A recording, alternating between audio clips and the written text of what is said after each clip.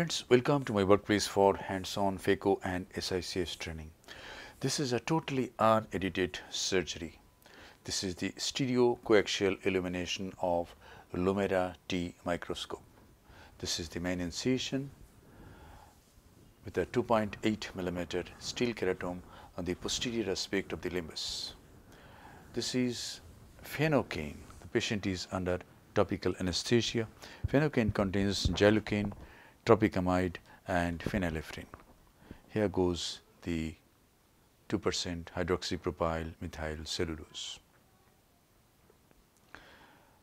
A side port is made on the left side of the main incision about 3 clock hours away.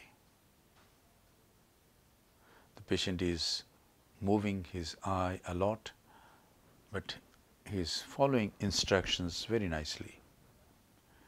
And now is the time to do capsulorhexis. Here goes the utrata forceps, get a flap, guide this flap to get an adequate sized rhexis. In this case the size of the rhexis is about 5.75 millimeter. And now is the time to do hydrodissection. Hydrodissection is done fluid wave goes to the other side, nucleus is tapped, the fluid wave comes along the equator anteriorly. And now some more visco, and this is the time to introduce the phaco handpiece.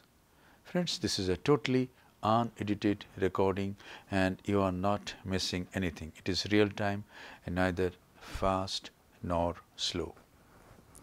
And here goes the phaco needle with its bevel down. I go bevel down, aspirate some cortex and then I make the bevel up. So, here goes bevel down phaconeedle, some superficial cortical lens matter is removed. Now, I turn the handpiece to make the bevel up and in this case I am just chopping and eating up. Here it is first cut second cut and eat this piece. Third cut and eat this piece. So, this is cut and each time emulsify the piece. When the cataract is like this grade 2 plus or grade 3, we can do this. In hard cataracts, probably it is better to get complete two halves and at least 4 fragments, then start emulsification of the nuclear pieces. And now this is the epinucleus, it comes out easily. And now is the time to do cortical cleanup.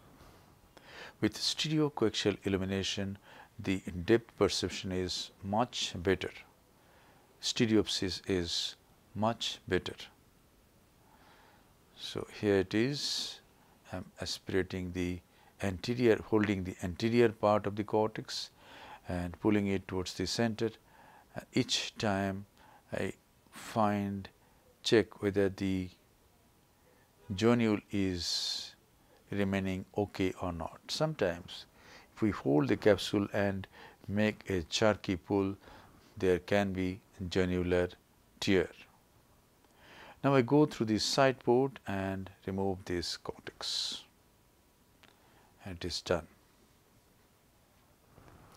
And now I introduce the irrigating probe of bimanual IA and do hydro polish. Hydro polish means the irrigating jet of fluid is swept over the posterior capsule and whatever cells are sticking to the posterior capsule they get dislodged and now is the time to enlarge the main wound to about 3 millimeter. It is 2.8, it is 3 now. When the when the wound is 3 millimeter, we can use a B cartridge and the optic of the lens is not compressed too much. So, I prefer to use the B cartridge so that the optic is not squeezed too much sometimes the optic is squeezed so much that it comes out like very narrow and there are compression marks on the optic of the intraocular lens.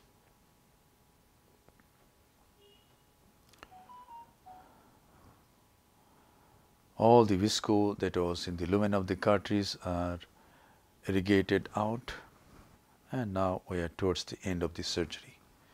This is a bit of moxifloxacin. I now I close the side port, hydrate the corneal stroma and close the side port.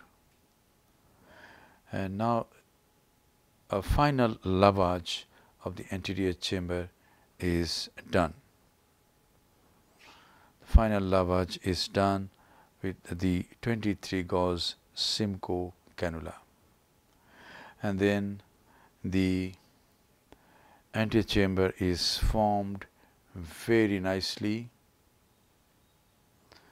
and the intraocular pressure is on the higher side. The eyeball should be firm and the case is concluded. Thank you very much for your attention. Hope this video will help you in developing your surgical skills. Be a great surgeon and serve your patients with love, respect, empathy and great surgical competence.